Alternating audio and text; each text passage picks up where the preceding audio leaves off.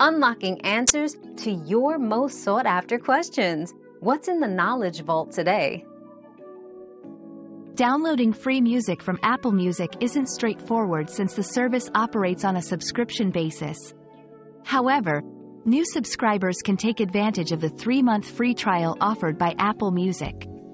During this trial, you can download and listen to millions of songs offline. Remember to download the Apple Music app, sign up for the trial, search for your desired music, and click the download icon next to a song or album to enjoy it offline. Ensure you cancel the subscription before the trial ends if you wish not to be charged.